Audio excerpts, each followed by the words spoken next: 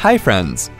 Email messages that you mark with a star in the Gmail app will make those messages appear in the primary category so that you can easily keep a track of them. Do you want to know how you can mark email messages with a star in Gmail app on your Android phone? Here are the steps to do so. For demo purpose, we are showing the steps on LG Optimus L9 phone that is powered by Android. From your home screen, tap on the Apps icon. Tap on the Gmail icon to launch the Gmail app. Tap the Gmail icon on the top left to access the Gmail menu. Scroll to the bottom of the screen and then tap on Settings.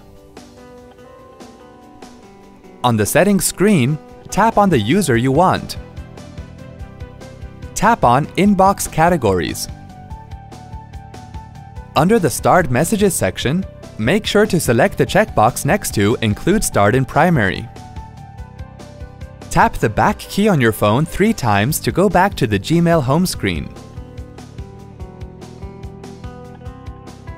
Now to mark an email message with a star, touch the star icon next to the message. To view all your starred email messages, tap the Gmail icon on the top left to access the Gmail menu,